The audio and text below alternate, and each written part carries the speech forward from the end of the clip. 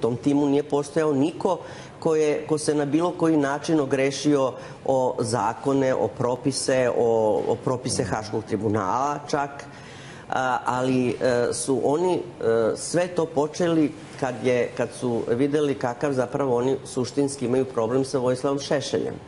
E, oni su svi istraumirani.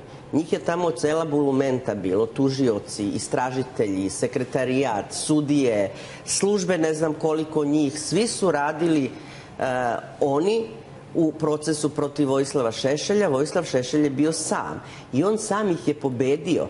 Vojislav Šešelj je u Haškom tribunalu, Haški tribunal rasturio po svim šavovima. Jedan od najozbiljnijih udaraca koji im je zadao jeste to što je on otkrio sve njihove lažne svedoke i način na koji su oni dolazili do lažnih svedoka.